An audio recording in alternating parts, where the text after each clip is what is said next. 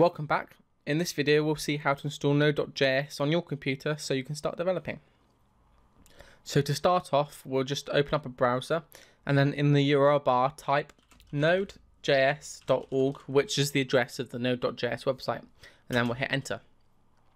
Assuming you've entered the URL correctly you should be shown a page exactly like this. In the center of the page we can see that is showing us two downloads for our operating system. So in my case, I'm using 64-bit Windows and it's showing me that version. But if you're on Mac or Linux, then it's going to show you something different.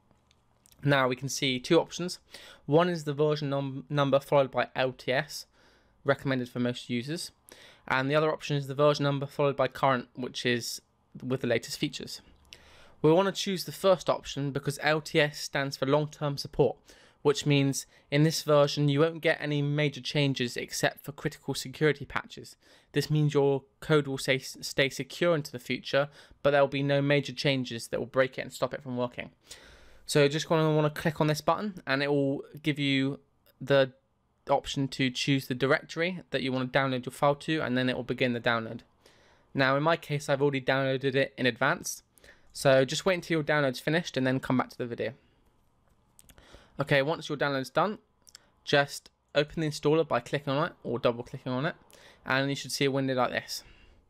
Uh, then we'll just click next, and then you're going to want to make sure you read through the license agreement, but I've already done it because I've installed it before, so in this case I'm just going to click accept the terms, and then click next. Then it will give you the option to where you want to install Node.js. I'm just going to leave it as the default, but feel free to change it.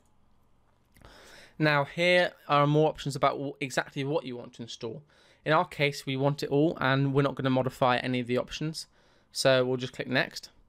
And then it gives us another option to install some tools that will allow for the easy installation of different packages later on. In this case, we're not going to use any advanced packages on this course, so we don't need these tools and we'll just opt to not install them. Okay, and then we're on the final step, so we just want to click the install button and then the installation will begin. If you're on Windows like I am, then you'll need administrator privileges. So when an overlay comes up and there's a pop-up asking you if you want to install it, just click yes, and that will allow it to begin the installation.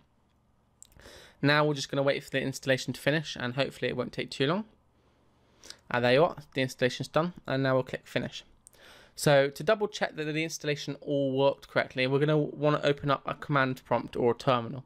And in Windows, we can open up a command prompt by going to the search bar in the bottom left, typing in CMD, and then pressing enter, and a command prompt will open up for us to use. So we're going to want to type into our command prompt node, followed by a space, and then hyphen v, and we're just running node and asking it for the version number. So if you press enter and it's all installed correctly, you should see the version number appear. So in my case, it's version 10.13. In the next video, we'll see how to install two different IDEs to use for Node.js depending on how powerful your computer is.